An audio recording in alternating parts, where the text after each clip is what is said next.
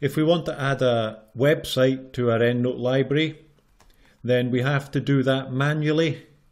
So what we would do, was, we would go to References, click on New Reference, and the template opens up. So choose the type of material, it's right down the bottom, web page.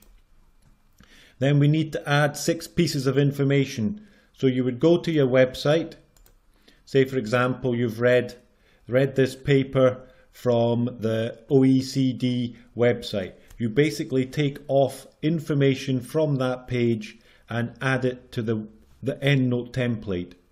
It's not difficult, there's only six fields. So we put in the author.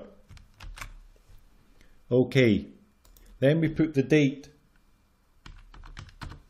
Then we put the title of the information that you used.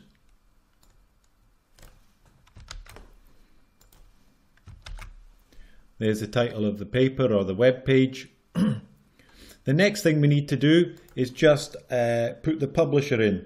So we can use a short version here, OECD. Then the next thing we need to do is put in the when did we look at the web page? So when did we access it? And it goes in this field, access date.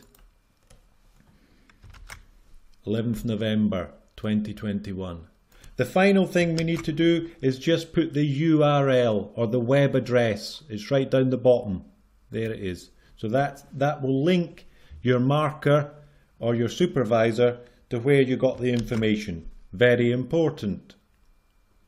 Okay, so one, one, two, three, four, five, six. Not difficult. Save. Okay, close.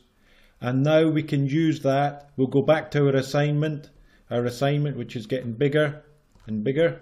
That's good. Put the cursor in again and we go up to references, insert footnote. Number four, go to the website and we'll insert our web page. Okay, there we go looks quite good. But let's have a look at the look at the references. What is this?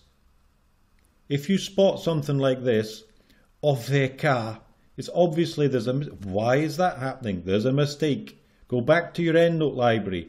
When you use an organization author like OECD, then you need to put a comma at the, the end of the author's name, the organisation name.